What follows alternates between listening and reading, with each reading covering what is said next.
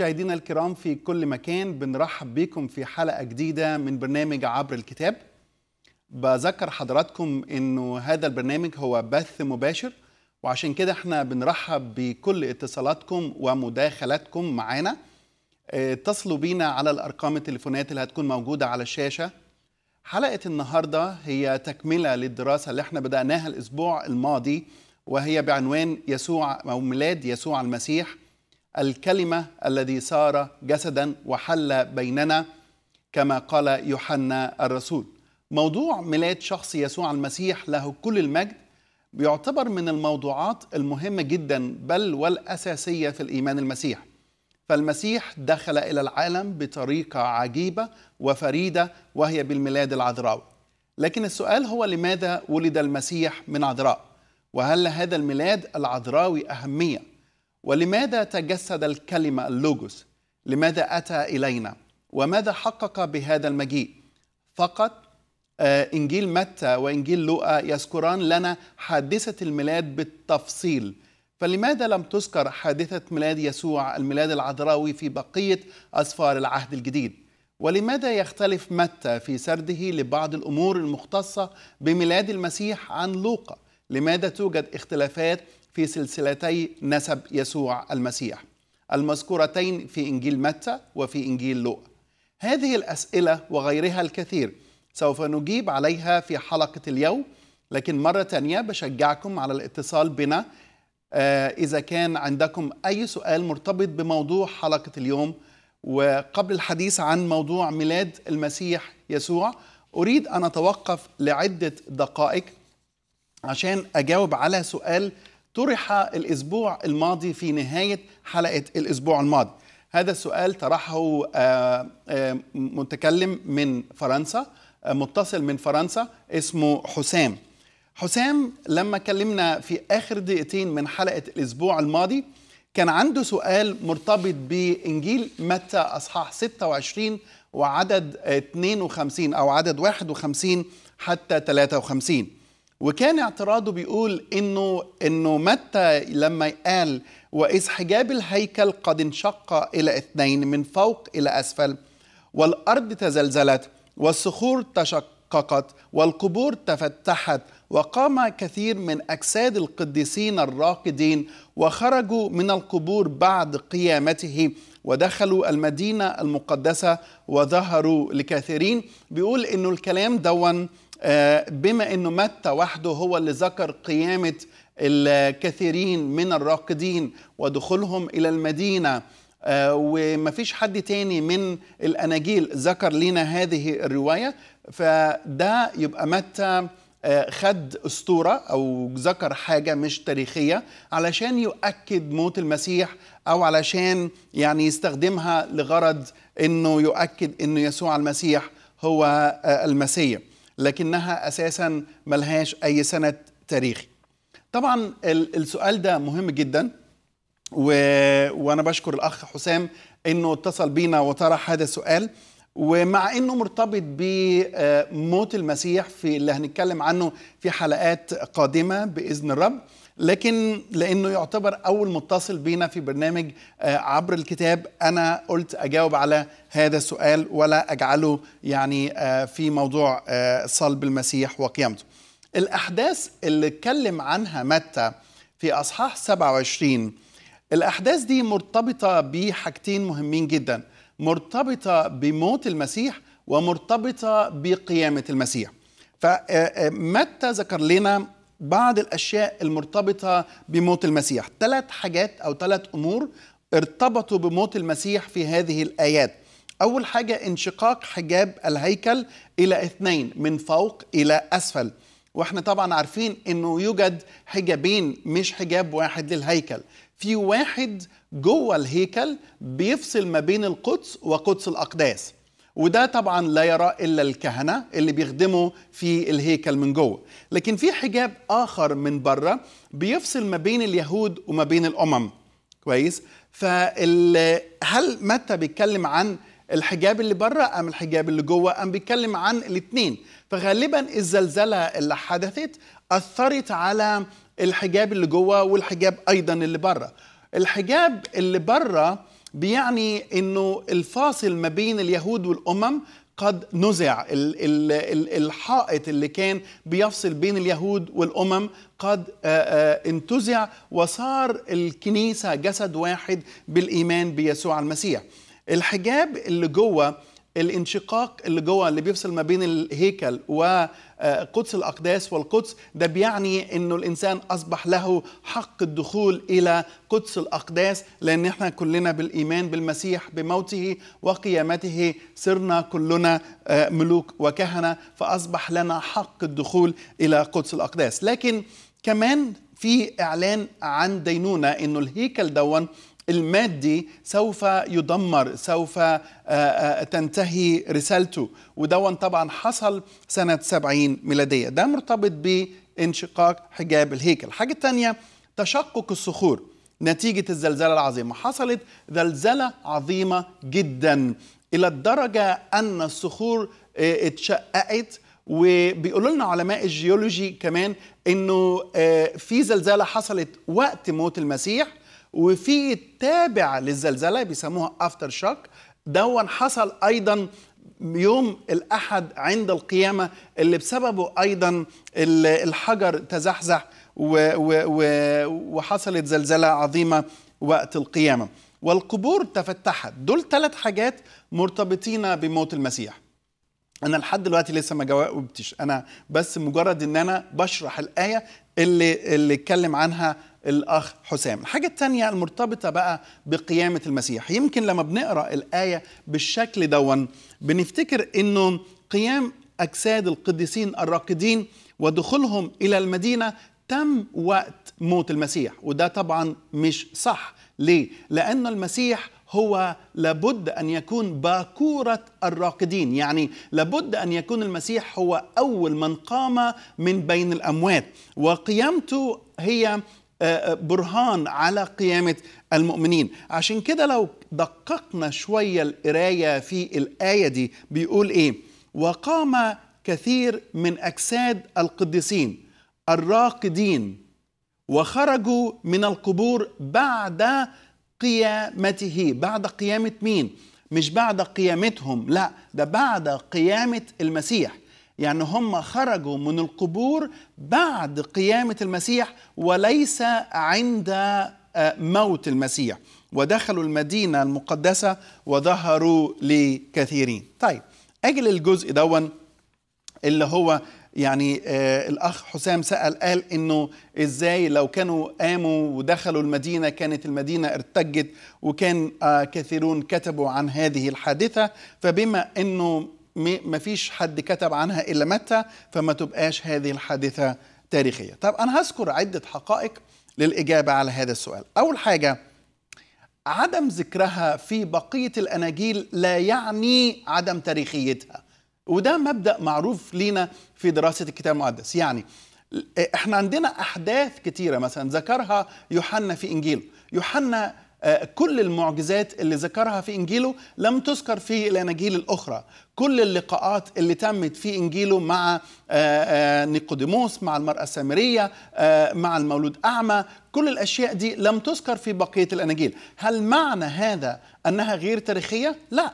زي ما قلت إنه آه، كل إنجيل كتب لغرض لاهوتي وكل إنجيل كتب من زاوية معينة لكي ما يقدم للسامعين يسوع المسيح آه، يسوع الذي هو المسيح ابن الله ولكي يكون لهم بالإيمان باسمه حياة. فعدم ذكرها في مرقس أو لوقا أو يوحنا لا يعني عدم تاريخيتها لكن لأن هناك ال- الغرض في غرض لاهوتي آه، وراء كل آه، آه، إنجيل من الأناجيل الثلاثه. طيب الحاجة الثانية عبارة ظهروا لكثيرين يعني لما يقول كده ظهروا لكثيرين لو هي كذبة ما كانش يقول ظهروا لكثيرين ليه؟ لأنه متى بيكتب وكثيرون ما زالوا أحياء. يعني اللي عاصروا الرب يسوع واللي عاصروا موت الرب يسوع واللي شافوا الرب يسوع أيضا في قيامته. وعارفين الأحداث دي. لو متى حابب إنه يعني يقول خدعة أو يقول أسطورة ما كانش يقول وظهروا لكثيرين. كلمة وظهروا لكثيرين بيعني تاريخيا أن الحدث صح بيعني لو مش مصدقيني يمكنكم أن أنتوا تسألوا الكثيرين. زي بالظبط نفس العبارة اللي قالها بولس لما اتكلم في كورنثوس الأولى أصحاح 15 عن ظهورات المسيح وقال أن المسيح ظهر لأكثر من 500 أخ لكنه حط عبارة يعني فيها نوع من التحدي. وقال إيه؟ وأكثرهم باق إلى الآن. يعني إيه؟ يعني قيامة المسيح تاريخ حقيقي وحدث تاريخي. ويمكنكم إنه ترجعوا للناس اللي ما زالوا أحياء وتسألوهم عن قيامة يسوع المسيح. كلمة وظهروا لكثيرين عبارة كأنه بيقول لو أنتم مش مصدقيني ما زال كثيرون أحياء لحد النهارده. يمكنكم أيضا التأكد من هذه الحادثة. الحاجة الثالثة لو لم تكن حادثة لو لم تكن الحادثة دي حادثة تاريخية لكنا رأينا اعتراضات عليها في بقية الأناجيل بالأخص إحنا عارفين إنه متى كتب قبل يوحنا والرسول يوحنا يعتبر من الأعمدة الأساسية اللي كانت موجودة في الكنيسة. فإذا كان متى كتب هذه العبارة وهي ليست تاريخية كان يوحنا بالأولى أنه يصححها أو أنه تتم حذفها من الأناجيل لكن هذا لم يحدث.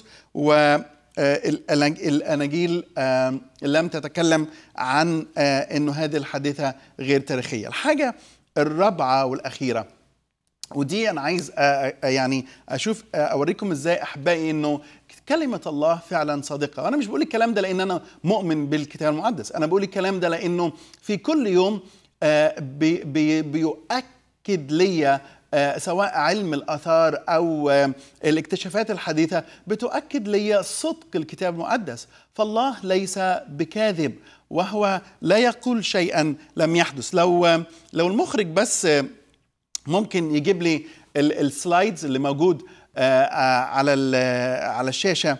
وأنا حابب بس إنه أتكلم عن إنه إزاي في زلزلة عظيمة حدثت في منطقة البحر الميت وكمان في منطقة أورشليم.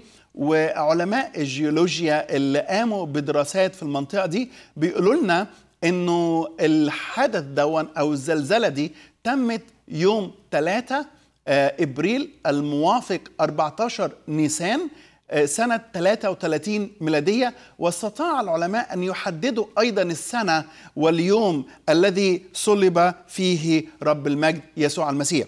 ال ال ال ال العنوان هنا زي ما جابته NBC News وزي أيضا ما هو منشور في ال International Geology Review وزي أيضا ما قام بالبحث فيه البروفيسور ويليام الخاص بال Supersonic Geophysical قام بالأبحاث دي وقال ونشر الأبحاث بتاعته وإنه أكد إنه يمكننا معرفة اليوم الذي صلب فيه المسيح من خلال دراستنا للتشققات اللي موجودة في ال ال الأرض وأيضا الآثار الزلزال اللي حصل سنة 33 ميلادية. فهنا لما يقول متى أنه والأرض تزلزلت حصل فعلا زلزال. فمش ممكن ابدا آخد جزء وأقول عليه تاريخي من الآية وأقول إن الجزء الثاني مش تاريخي. الآية كلها على بعض بتتكلم عن أحداث فوق طبيعية حصلت وقت موت المسيح وحصلت أيضا وقت قيامة المسيح أتمنى بكده إن أنا أكون جاوبت على سؤال الأخ حسام اللي اتصل الأسبوع اللي فات والنهاردة هنكمل مع بعض أحبائي دراستنا عن حياة شخص ربنا يسوع المسيح كما دونتها لنا الأناجيل أربعة. طبعا يعني لا يوجد لا يوجد شخص عاش على هذه الأرض كما عاش عليها شخص الرب يسوع المسيح له كل المجد وعشان كده مهم قوي لينا إن إحنا ندرس حياة يسوع المسيح. فحياتنا كمؤمنين هي حياة المسيح فينا. هبدأ النهارده بالكلام عن آه، يسوع المسيح وميلاد يسوع المسيح بالكلام عن الأول عن نبوات عن ميلاد يسوع المسيح. هل توجد نبوات واضحة في العهد القديم بتتكلم عن ميلاد يسوع المسيح وبتتكلم عن الميلاد العذراوي. آه، أنا طبعا مش هتكلم عن النبوات آه، وعن الإشارات اللي إحنا عندنا بنسميها. في إشارات وفي رموز وفي آه، أشياء يعني بتشير عن قريب للحدث دوت. لكن أنا حابب أذكر بعض النصوص الواضحة اللي هي بنسميها direct predictions أو نبوات صريحة جدا بتتكلم عن يسوع المسيح وعن مجيء يسوع في الجسد. أول نبوة بنجدها في سفر التكوين وأصحاح ثلاثة وفي عدد 15 بتقول وأضع عداوه أضع عداوة بينك اللي هنا بيتكلم عن الحية وبين المرأة. يبقى الرب هيضع عداوة بين الحية وبين المرأة.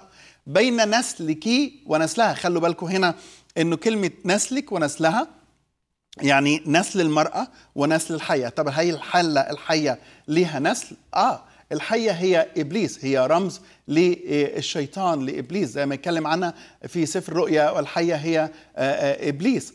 لكن آه، إبليس له أبناء. والرب يسوع قال أنتم من أب هو إبليس وأعمال أبيكم تريدون أن تعملوا.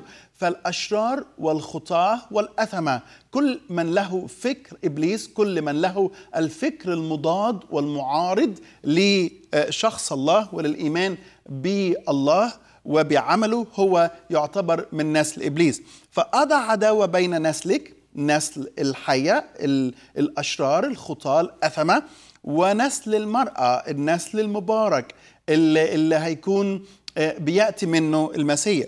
هو يسحق رأسك وأنت تسحقين عاقبه. طبعا آه، اللي يدرس فينا اللغة يعرف أنه آه، كلمة نسل زي ما إحنا بنسميها it's collective noun يعني إيه؟ يعني اسم يشير اسم ممكن يشير إلى ال- الجمع وممكن يشير إلى المفرد. كويس؟ فهنا استخدمت بالمعنيين دول بين نسلك جمع ونسلها جمع. كويس؟ هو بالمفرد. في هنا نسل بس مفرد. هو يسحق رأسك وأنت تسحقين عاقبه مع أن هذه النبوة تعتبر هي أول نبوة في الكتاب المقدس وزي ما بنسميها الإنجيل الأول. ليه؟ لأنها بتحمل بشارة الخلاص. بتكلمنا عن أنه هيأتي في ملء الزمان من نسل المرأة مولود من امرأة آه، المسيح الذي آه، يأتي لكيما يسحق رأس الحية يعني لكيما ينهي سلطانها ويميتها. وأنت تسحقين عاقبه إنه هيكون في ألم وهيكون في أيضا آه، آه، معاناة لكنه هو هينتصر ويخرج غالبا من هذه المعركة. ده, ده أول إشارة آه، بنجدها في الكتاب المقدس عن ميلاد شخص ربنا يسوع المسيح أنه من نسل المرأة أنه إنسان. هيأتي كإنسان لكيما يفدي الإنسان. الحاجة الثانية إنه لما نقرأ النبوات في العهد القديم ونعرف إنه الفوكس آه، دايما آه، بيبقى واسع الأول أو ال- ال- الرؤية بتبقى واسعة. وبعدين بتبدأ النبوات تبقى محددة محددة محددة لحد لما توصل إلى ال center. فا آه، okay هو لما يقول لي إنه نسل المرأة يعني هيجي زي البشر هيجي هيجي كإنسان زينا يولد من امرأة. لكنه من منين هيولد من امرأة؟ أنهي نسل أنهي قبيلة أنهي أنهي شعب؟ يبدأ يكلمني عن عن هذا لما يختار الرب إبراهيم في تكوين 12 وي- ويجعل نسله مباركا وبنسله تتبارك جميع قبائل الأرض. لكن أيضا إبراهيم جاب إسحاق وإسحاق جاب آه، يعقوب ويعقوب جاب 12 ابن اللي هم بقيوا اسباط إسرائيل الاثنى عشر طب من أنهي سبط هيأتي يسوع المسيح؟ يكلمني في نبوة في سفر التكوين وفي أصحاح 49 وفي عدد عشرة يقول إيه؟ لا يزول قضيب من يهوذا ومشترع من بين رجليه حتى يأتي شيلون. وهنا كلمة شيلون الذي له الذي له الإكرام الذي له المجد الذي له السجود والعبادة وله يكون خضوع شعوب. فعرفنا من هنا أن المسيح الذي سيولد من امرأة هيأتي من نسل إبراهيم لكنه أيضا هيأتي من يعقوب وبالأخص من سبط يهوذا. عشان كده لما نقرأ في العهد الجديد لما نيجي نتكلم عن سلسلة نسب الرب يسوع نعرف إنه هو من يهوذا. وحتى في سفر الرؤيا يقول لنا إيه؟ هو ذا قد غلب الأسد الخارج من سبط مين؟ من سبط يهوذا. فيسوع المسيح أتى من سبط يهوذا. الحاجة الثالثه هنا إنه يا رب يسوع هو كوكب. ولما في ميلاده أيضا تحركت الكواكب وظهر نجم في المشرق وهذا النجم هو أيضا الذي قاد المجوس وهو أيضا الذي قاد الرعاة. يقول كده أراه ولكن ليس الآن أبصره ولكن ليس قريبا يبرز كوكب من يعقوب. يبقى في نجم هيخرج من يعقوب. هو هذا النجم هو كوكب الصبح المنير شخص الرب يسوع المسيح. طبعا لما نأتي إلى إلى سبط يهوذا آه ونتكلم عن سبط يهوذا سبط يهوذا مكون من عشائر. يعني السبط ده بيبقى كبير بيبقى آه آه يعني ممكن يوصل نص مليون مليون آه حسب حجم السبط. لكن السبط نفسه بيبقى فيه عشائر في بيوت. من أنهي بيت من سبط يهوذا سوف يأتي رب المجد يسوع المسيح؟ يقول لنا هنا في صموئيل الثاني وفي أصحاح سبعة وفي عدد 13 إلى عدد 16 يقول لي أن الرب يسوع سيأتي من بيت داود. أقيم بعدك نسلك. الرب هنا بيكلم داود. أقيم بعدك نسلك الذي يخرج من أحشائك وأثبت مملكته وأنا أثبت كرسي مملكته إلى الأبد. كرسيك يكون ثابتا إلى الأبد. نعرف إنه لا يوجد ملك ها ينفع إن إحنا نطبق عليه إنه كرسي يكون إلى الأبد. يعني يعني حتى داود مات سليمان مات. لكن لما يكلمني عن الكرسي إلى الأبد هو بيكلمني عن ابن داود الذي يجلس كملك لكي ما تكون مملكته إلى الأبد. هو شخص يسوع المسيح. ابن داود بحسب الجسد. عشان كده بولس الرسول يكلمني عن شخص الرب يسوع في رمية وفي أصحاح واحد ويقول لي أنه بحسب الجسد ابن داود. كمان نبوة إشعياء ودي نبوة مهمة جدا جدا وفي كلام كتير قوي بخصوص هذه النبوة. وأنا يعني حابب أنه شوية نقف هنا عند هذه النبوة ونتكلم عنها ببعض التفصيل. النبوة دي قيلت بالضبط سنة 701 قبل الميلاد يعني خلينا نقول 700 سنة قبل ميلاد شخص ربنا يسوع المسيح وأعطيت لبيت داود أعطيت إلى بيت داود. ولكن يعطيكم السيد يعطيكم سيد السيد يعطي بيت داود آية أو يعطيكم السيد نفسه آية. هل عذراء تحبل وتلد ابنا وتدعو اسمه عمانوئيل العبارة دي أو ال ال الآية دي مهمة جدا. ليه؟ لأنه لو شفنا في كام كلمة هنا هنحتاج إن إحنا نقف عندها. أول حاجة آية. يعني إيه آية؟ آية يعني أوث يعني يعني معجزة يعني شيء فوق طبيعي يعني حاجة آه مش طبيعية. يعني آه فميلاد الرب يسوع هيكون آية بمعنى هيكون شيء فوق الطبيعي هيكون تدخل إلهي هيكون supernatural things حاجة كده فوق الطبيعة. الإنسان نفسه ما يقدرش يعملها. هي حاجة يعملها الله فقط. عشان كده كلمة آية دي تعتبر كلمة مفتاحية جدا في فهمنا لهذه ال ال لهذه ال ال الوعد أو هذه النبوة إنه هي آية هي آية. الحاجة الثانية هالعذراء كويس. طبعا البعض بيقولوا لنا إنه في دراستنا ل للآية للعبارة دي بيقولوا لنا إنه هنا كلمة عذراء آه لم تستخدم فيها الكلمة العبري المعروفة وهي بتولة. إحنا عندنا كلمة في العبري اسمها بتولة. ويمكن حتى في العربي إنها تعني عذراء. بتولة يعني عذراء. لكن استخدم أشعياء هنا لفظ نعراء. وهنا بمعنى فتاة شابة. فتاة شابة.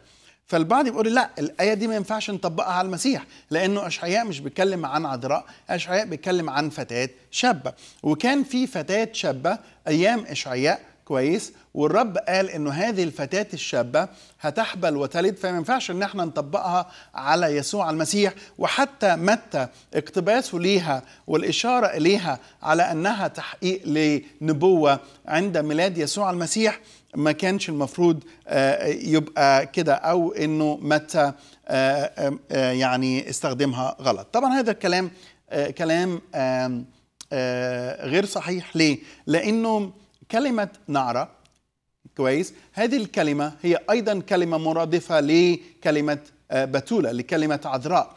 وفي الثقافة الشرق الأدنى القديمة حتى في ثقافتنا إحنا الشرقية يمكن أنا بتكلم على 20 30 سنة أو يمكن أكتر من كده معرفش النهاردة إيه الأخبار في عالمنا العربي لكن عايز أقول إنه لما حد يقول إنه فلان الفلاني عنده بنت على وش زواج. ما بيقولش عنده بنت عذراء لأنه عيب إنه يقول بنت عذراء لأنه لو قال بنت عذراء بتحمل معنى سلبي. لكن يقول عنده فتاة شابة عنده فتاة شاب.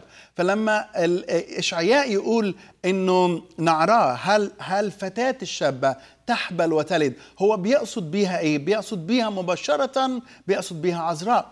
حتى الترجمة السبعينية اللي هي تمت سنة 250 قبل الميلاد الرب يسوع. يعني الترجمة السبعانية دي لم لم يكن يسوع ولد ولم يكن الميلاد العذراوي قد تم كحدث تاريخي لكنها حدثت الترجمة دي تمت قبل ميلاد ربنا يسوع المسيح ب 250 سنة. هذه الترجمة استخدمت الكلمة اليوناني اللي هي بنسميها technical term يعني أو التعبير اليوناني اللي يشير إلى عذراء.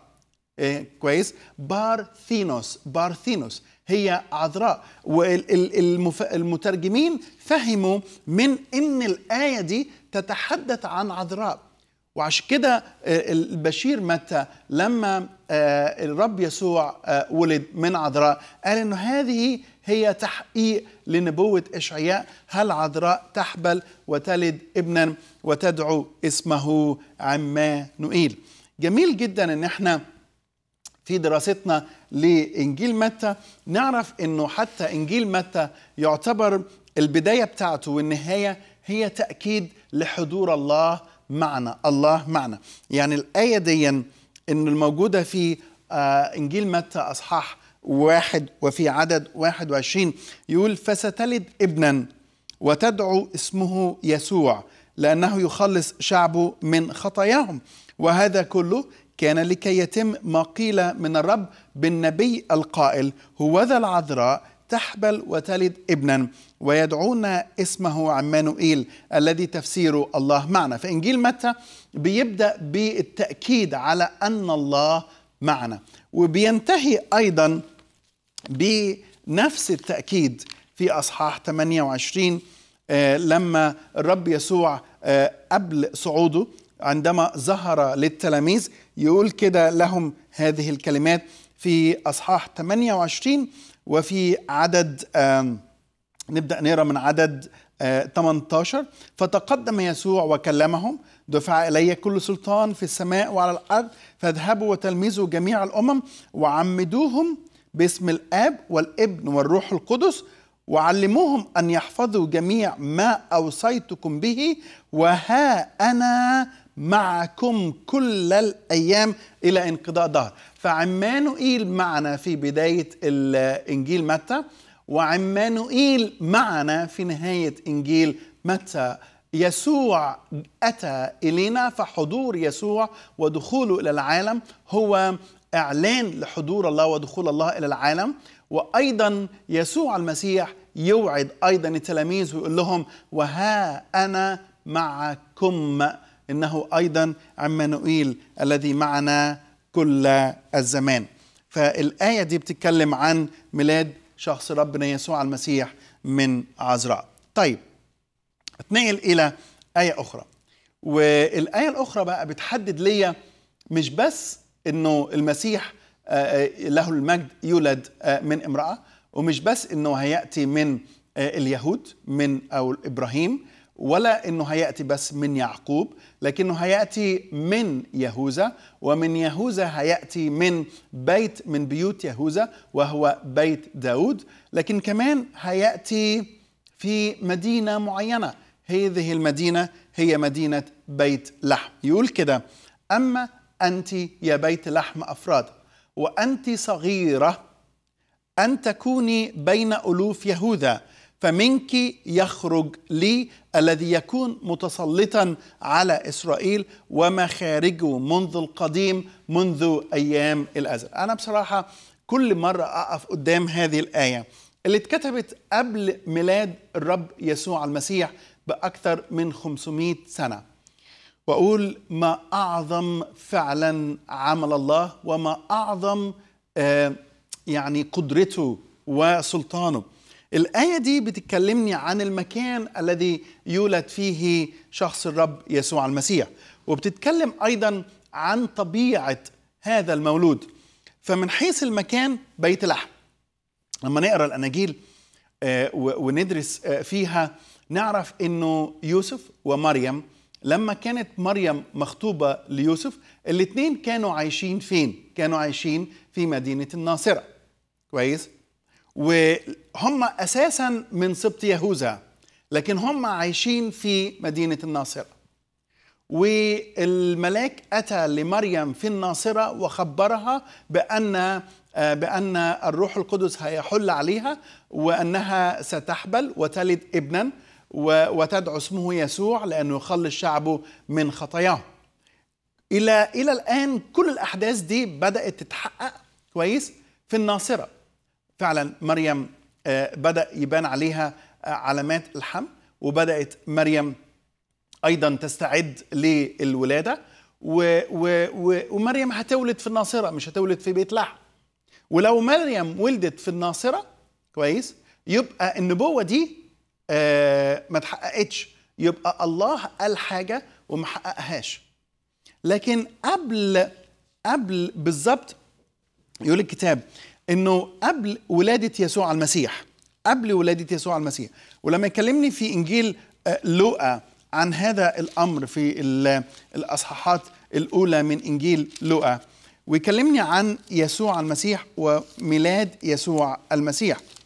فيقول لي إنه آه إزاي إنه في أيام في إصحاح اثنين يقول إيه وفي تلك الأيام صدر أمر من أغسطس قيصر أن يكتتب كل المسكونة وهذا الاكتتاب الأول جرى إذ كان كرنيليوس والي سوريا فذهب الجميع ليكتتبوا في آه، كل واحد إلى مدينته فصعد يوسف مع مريم إلى بيت لحم. الرب عشان يحقق كلمته وضع في قلب أغسطس قيصر إنه يصدر أمر بإحصاء بعمل إحصاء اكتتاب. وإنه عشان الاكتتاب ده يتم كل واحد ينزل إلى المدينة بتاعته إلى البيت بتاعه إلى عشيرته. وطبعا لما يصدر القيصر الروماني أمر من يستطيع إنه يرده؟ فكان على كل الناس إنها تسرع لتحقيق وتنفيذ أمر القيصر. وعليه يوسف أخذ مريم العذراء ونزل بيها إلى إلى بيت لحم. ويمكن مريم ويوسف بيقولوا طب ليه حصل دون قبل الولادة؟ يعني يعني واحد بياخد مريم العذراء يوسف ياخد مريم العذراء وهي على وش الولادة؟ ويضعها على دابة ويذهب بيها all the way من من مدينة الناصرة علشان ينزل إلى مدينة بيت لحم ويتعرض في الطريق لأي مخاطر وممكن تولد في الطريق. لكن لأن الرب قال إن الولادة المسيح ستكون في بيت لحم فهو حرك حتى الإمبراطور حرك القيصر لكي ما يصدر امرا. عشان كده الكتاب يقول لنا أن قلوب الملوك كجداول مياه في يد الرب. أحبائي إلهنا لما بيتكلم ولما بيقول نبوة هذه النبوة وهذا الكلام لابد أن يحققه. يحرك العالم كله لكي ما يحقق ما قد وعد به. لكن حاجة تانية في الآية دي جميلة أيضا إنه الآية دي مش بس بتتكلم عن ميلاد يسوع المسيح في بيت لحم. الآية دي بتتكلم عن طبيعة المولود. شوفوا هنا يقول إيه؟ يقول إنه إنه فمنك يخرج الذي يكون متسلطا فهو الملك من سبط من سبط يهوذا من بيت داود اللي يتسلط على إسرائيل. وبعدين يقول لي ومخارجه منذ القديم منذ قديم الأيام. عايز يقول لي هنا إيه؟ عايز يقول لي وإنت بتقرأ الآية دي عن مجيء المسيح اوعى تفكر إنه دخوله إلى العالم هو بداية حياته. يعني المسيح لم يكن بدايته مع دخوله إلى العالم. المسيح هو ازلي هو ازلي عشان كده يقول ومخارجه منذ القديم منذ أيام الأزل. يعني هو لأنه ازلي هيدخل إلى العالم. دخوله إلى العالم هو الصورة التي سيرى بها الكل لكنه هو أيضا ازلي الكلمة اللوجوس الأزلي الموجود قبل كل وجود الذي هو عمل كل الأشياء. اللوجوس فكر الله عقل الله موجود مع الله منذ الأزل. عشان كده لما نقرأ الاناجيل ما نستعجبش من يسوع المسيح عندما يقول لليهود إنه أبوكم إبراهيم تهلل بأن يرى يومي وراى وفرح. لدرجه أن اليهود استغربوا واعتبروه نوع من التجديف وقالوا له انت أنت ما عندكش خمسين سنة ما كملتش خمسين سنة فكيف تقول أن أبونا إبراهيم رآك وتهلل؟ فقال الرب يسوع عبارة أخرى جعلتهم يعني أكثر غيظا. قال لهم إيه؟ قبل أن يكون إبراهيم أنا كائن أنا موجود. قبل إبراهيم أنا موجود. قبل إبراهيم أنا موجود. عشان كده يبدأ يوحنا الحبيب إنجيله ويقول لنا في البدء كان الكلمة. والكلمة كان عند الله وكان الكلمة الله. هذا كان في البدء عند الله.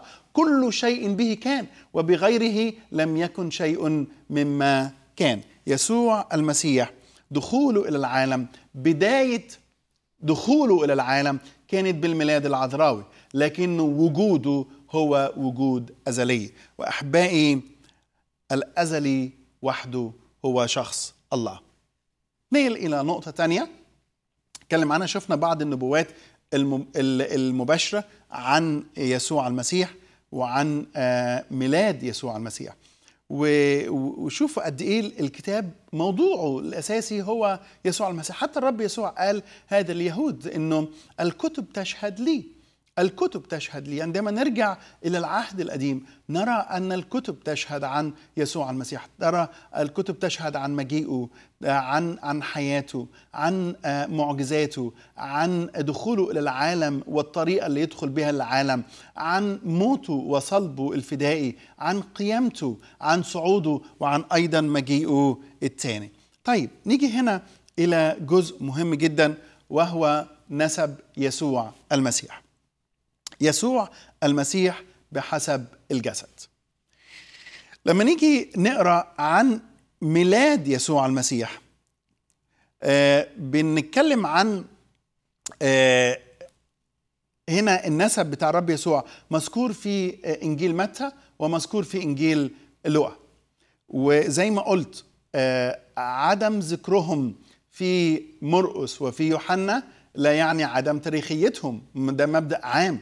ليه؟ لأنه كل واحد بيكتب بيكتب إلى بغرض معين. كويس؟ فمتى بيكتب لليهود؟ وعشان هو بيكتب لليهود لابد اليهود من أكثر الشعوب التي تحفظ الانسال والنسب وكل واحد فخور بنسله ولابد إنه كل واحد يكتب النسل لكي ما نعرف إنه إنه هناك في جاي من أنهي من أنهي سبت. طيب لما نتكلم عن الاختلافات بقى في بعض الاختلافات ما بين متى وما بين لوقا بخصوص نسب الرب يسوع. ودايما الاختلافات دي بنتساءل فيها. أنا هحط أول حاجة بنجدها في متى إنه نسب يسوع في إنجيل متى بنجد الآتي. نسب يسوع المسيح في إنجيل متى بيبدأ من إبراهيم. يعني اللي بيبدأ لنا من إبراهيم فصاعد إبراهيم وإسحاق ويعقوب والى إلى إلى آخره حتى يصل بنا إلى آه، شخص يسوع المسيح. متى بيتتبع النسب من خلال يكونيا وشلتائيل وذروبابل؟ وهنا يعني دول طبعا دول الاسماء دي بنشوفها أسماء بعد السبي فيكونيا وشلتائيل وذروبابل. متى بيتتبع نسب يسوع من خلال سليمان ابن داود؟ كويس. مهم قوي النقطة دي لأنه آه، سليمان هو الذي جلس على العرش بعد بعد بعد آه، داود. ومتى بيقول إنه المسيح هو ابن داود؟ وهو الوريث الشرعي أيضا لعرش داود. متى بيتكون النسب في متى؟ من ثلاث مجموعات كل مجموعة بتتكون من 14 اسم. طبعا واللي يدرس فينا يعرف يعني إيه إيه سر 14 14 من أكثر الأشياء الجميلة إن إحنا نعرف إنه اسم داود أو داود بالعبري بيتكون من ثلاث حروف. كويس؟ آه ومجموع آه، هذه الحروف عارفين في العبري مفيش أرقام لكنه الألف بيبقى واحد والبيت بيبقى اثنين والجيمل بيبقى ثلاثة فالحروف نفسها بتبقى هي الأرقام. فلما نجيب الحرف الأول أربعة وبعدين نجيب الحرف الثاني ستة وبعدين نجيب الحرف الثالث أيضا في اسم داود والأخير بيساوي أربعة يبقى المجموع 14 وكأنه بيقول لي إنه نسب يسوع المسيح في متى؟ متمركز ومتحور حول آه، آه، شخص داود آه، داود الملك. لما نيجي إلى نسب يسوع في إنجيل لوقا بنجد إيه بقى؟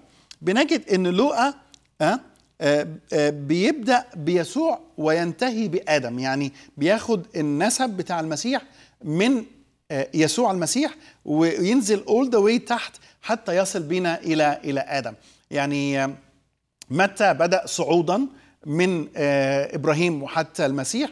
لوقا بدأ نزولا من المسيح وحتى وحتى آدم. بيتتبع لوقا النسب من خلال آه، آه، نيري وشلتائيل وزربابل وهنا في اختلاف. إنه أنا يعني الاختلاف في الاسم يكونيا شايفينه هنا وهنا نيري. كويس؟ وهنتكلم عن النقطة دي.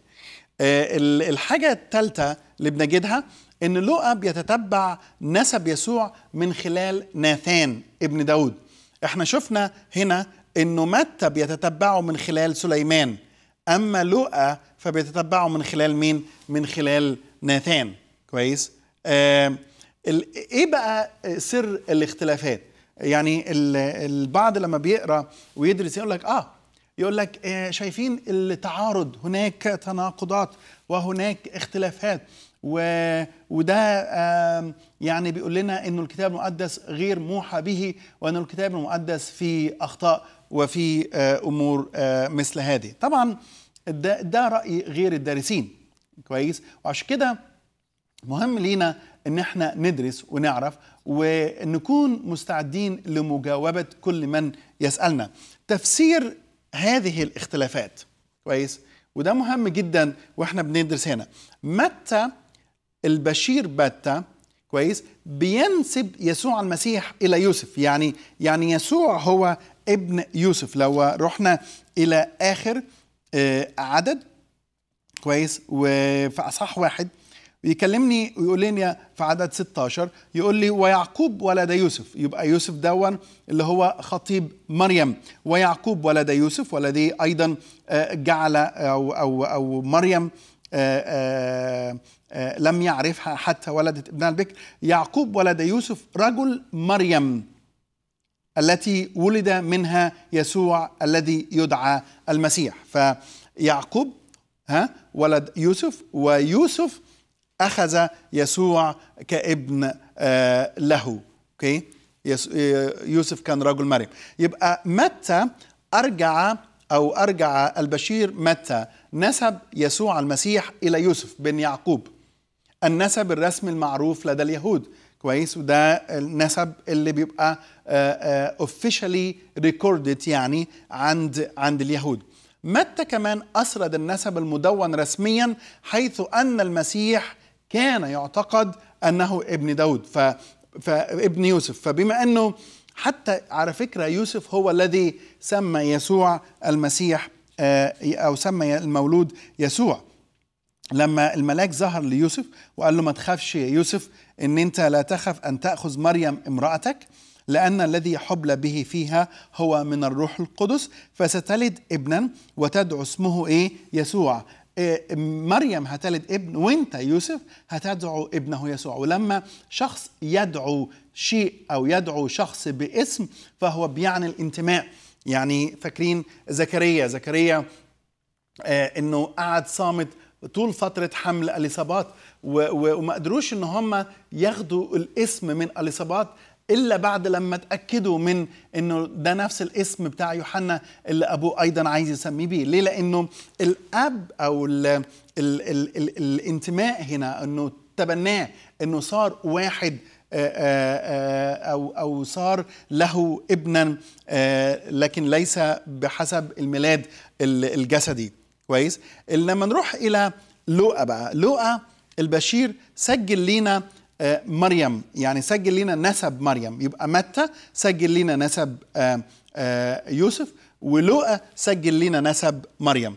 وأرجع البشير لوقا نسب المسيح إلى النسب الجسدي من خلال السيدة العذراء وقال أن يوسف هو ابن هالي. طيب لما نيجي هنا إلى إلى أصحاح ثلاثة من من إنجيل لوقا. أصحاح ثلاثة من إنجيل لوقا. يقول لنا إيه؟ عن عن نسب يسوع المسيح. يقول إنه في الأعداد الأولى نسب يسوع. إنه يوسف ولما ابتدأ يسوع في عدد 23 ولما ابتدأ يسوع كان له نحو 30 سنة وهو على ما كان يظن ابن يوسف ابن هالي. وهنا بيجي السؤال هو يوسف ابن يعقوب ولا ابن هالي؟ كويس؟ هل هل هل هل آه لوقا غلط أو متى غلط؟ طبعا حاشا لأنه ده مش صح. آه هل هل آه يعقوب ليه اسم آخر اسمه هالي؟ فلوقا اختار اسم هالي و و و ومتى اختار اسم يعقوب؟ برضو أيضا ده مش الإجابة الصح. لكن الإجابة الصح إيه؟ إنه أحبائي في في اللغة اليونانية لا يوجد كلمة نسيب. يعني يعني حتى في الإنجليزي إحنا عندنا يقول son in law son in law يعني يعني ابن الابن اللي واخد البنت. يعني لما حد يعني بنتي تتجوز يبقى دون جوز بنتي. جوز بنتي جوز بنتي مش موجود في اللغة اليونانية. فبيعتبر اللفظ اللي موجود في اللغة اليونانية هو ابن فينظر له على إنه ابن. فلما يقول لي إن يوسف هو ابن هالي هو بيقول لي إن يوسف هو زوج أو رجل مريم ابنة هالي. كويس؟ فده ده المتعارف عليه حتى في اللغة اليونانية اللي دارس اللغة اليونانية يعلم هذا جيدا. فالزوج البنت يعتبر ابن. وبدل ما يقول إنه زوج بنت فلانة يقول ابن فلان ابن فلان. فده فيوسف هنا هو ابن هالي وهالي هو أبو مريم. فالنسب هو بحسب الجسد. في كلتا الحالتين في نسب الرب يسوع في متى وفي نسب الرب يسوع في لوقا. الحقيقة الواضحة اللي, اللي بيؤكدها الاثنين السجلين. يتضح أن السيد المسيح له كل المجد هو ابن داود من سبط يهوذا سواء كان هذا بالنسبة للنسب الرسمي اللي هو بتاع يوسف أو للنسب الجسدي الحقيقي بتاع مريم اللي مذكور في إنجيل لوقا. طيب اتنقل إلى حقائق مهمة جدا. لما بندرس ميلاد المسيح في متى وبندرسه في إنجيل لوقا. الاثنين اتفقوا على حقائق أساسية. يعني يعتبر حقائق مهمة جدا.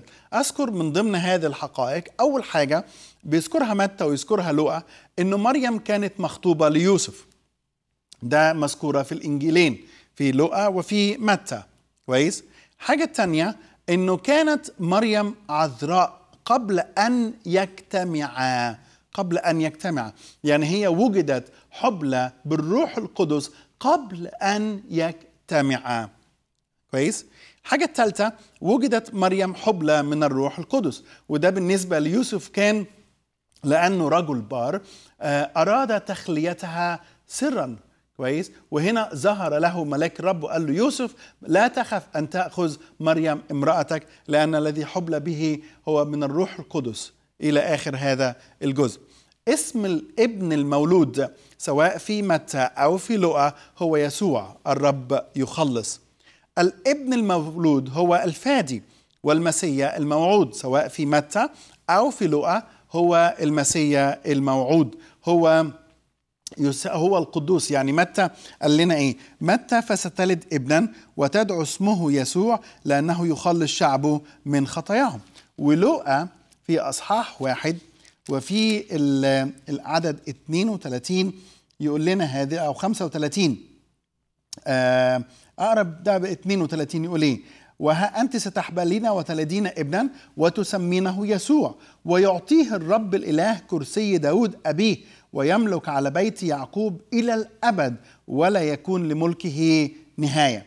ويجي في عدد 35 يقول الروح القدس يحل عليك وقوة العلي تظللك فلذلك أيضا القدوس المولود منك يدعى ابن الله. القدوس المولود منك يدعى ابن الله.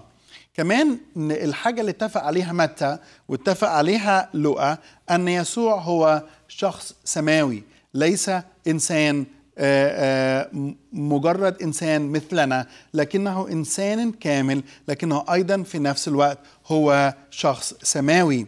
عشان كده يقول عمانوئيل الذي تفسيره الله معنا. ولد يسوع في بيت لحم اليهودية. متى يقول لنا كده؟ ولوقا يقول لنا كده أن يسوع ولد في بيت لحم اليهودية. يوسف لم يعرف مريم. حتى ولدت ابنها البكر يسوع. ودي الحقائق الثمانية اللي بنجدها مرتبطة بميلاد يسوع المسيح له كل المجد سواء اللي سجلها متى في إنجيله في أصحاح واحد أو اللي سجلها لنا لوقا في إنجيله في أصحاح واحد واثنين وثلاثة من إنجيله طيب هنا بيأتي سؤال مرتبط بميلاد يسوع المسيح. وده سؤال مهم جدا. هذه الحقائق اللي إحنا اتكلمنا عنها كلها واللي بيأكدها الوحي الإلهي في إنجيل متى وفي إنجيل لوقا. بتكلمني عن التجسد. كلمني عن التجسد. كلمني عن دخول الكلمة اللوجوس إلى العالم. بتكلمني عن المسيح الذي صار جسدا الكلمة الذي صار جسدا وحل بيننا. وهنا باجي إلى سؤال مهم جدا. ما هو معنى التجسد؟ التجسد في المسيحية ماذا يعني؟ التجسد بمعناه بكل بساطة هو أن الابن الأزلي كلمة الله ولما نتكلم عن الابن نحن لا نعني ابن بالتكاثر الجسدي أو بالميلاد الجسدي ولا نعني ابن بالتبني أن الله تبنى المسيح.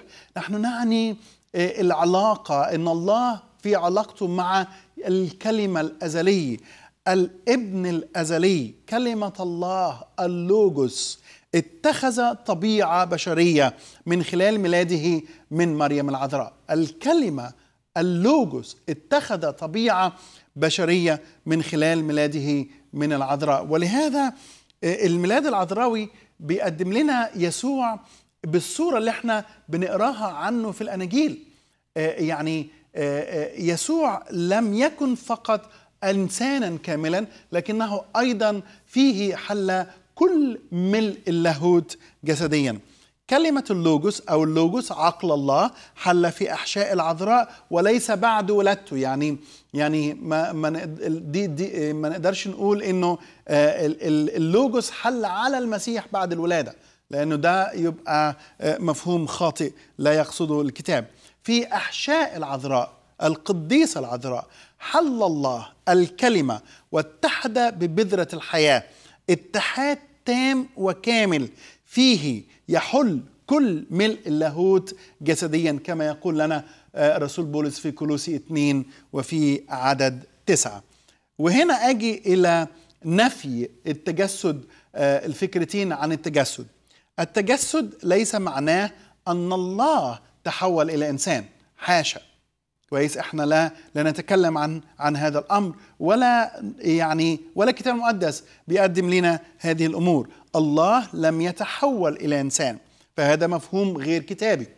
التجسد أيضا ليس معناه أن انسانا صار الها. يعني يسوع المسيح آآ آآ إنسان عادي زي ما البعض بيقول إنه إنسان عادي نبي كويس شخص عظيم بيصنع معجزات محب محب للناس و و و وبعدين إحنا صيرناه إله.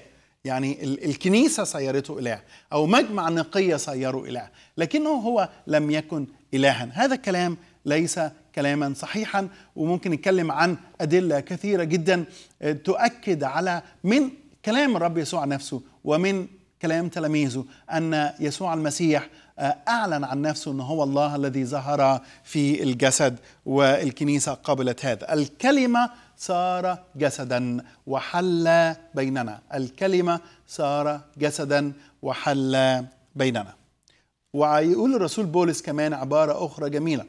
وبالإجماع عظيم هو سر التقوى. إيه بقى؟ الله ظهر في الجسد. الله ظهر في الجسد. عظيم هو سر التقوى. احبائي التجسد سر.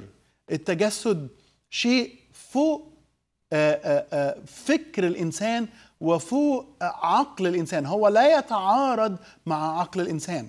يعني يعني حتى لو حاولنا إن إحنا نحط عبارات توضيحية للتجسد مش ممكن ابدا نقدر نفهم إزاي أن إله كامل وإنسان كامل في نفس الوقت. عشان كده رسول بولس قال إنه سر ولا يستطيع أحد أن يقول أن يسوع رب. يا لما ندرس عن يسوع المسيح بنجد حتى إنه يعني كثيرون يتعثرون آآ آآ إنه إنه من قولنا ومن إيماننا أن يسوع المسيح هو رب لكن هذا هو عمل الروح القدس أن يفتح القلب والذهن فنرى يسوع المسيح ليس فقط الإنسان الكامل لكنه الله الذي ظهر في الجسد. الميلاد العذراوي كان الوسيلة اللي دخل بها يسوع المسيح إلى العالم. دخل بها إلى العالم. هو أتى إلى هذا العالم. وفي الحلقات اللي جاية هنتكلم عن عن لماذا أتى يسوع إلى العالم. لماذا الكلمة صار جسدا. لماذا أتى إلى عالم الشقاء. لماذا ولد ولد فقيرا. لماذا دخل إلى عالم المعاناة؟ لماذا صار شبيها لي في كل شيء لكنه بلا خطية؟ لماذا كل هذه الأمور؟ لماذا أتى يسوع المسيح إلى العالم؟ الميلاد العذراوي هو دخول عمانوئيل دخول الله إلى العالم الكلمة الذي صار جسدا. عزيزي المشاهد أكمل معكم هذه الدراسة في الحلقات القادمة وإلى أن نلتقي. سلام المسيح يكون معكم جميعا.